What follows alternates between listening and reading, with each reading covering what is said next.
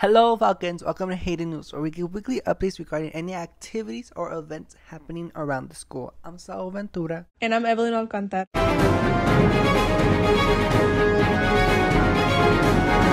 Stugo presents Snack Week. It's Haydenlicious.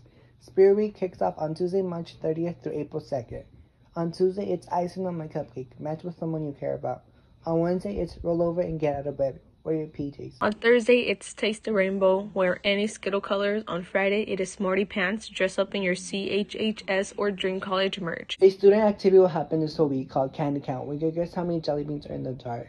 Located in the front office. A winner will receive a prize. Grab and go lunch stations. If your second hour is in the following buildings 200, 900, including the fitness room, 1200, 500, and 100, you have lunch A. If your second hour is in the following buildings 1300, 400, 600, and 800, you have lunch B. There'll be three grab and go lunch stations. Each station will be labeled with a yellow sign.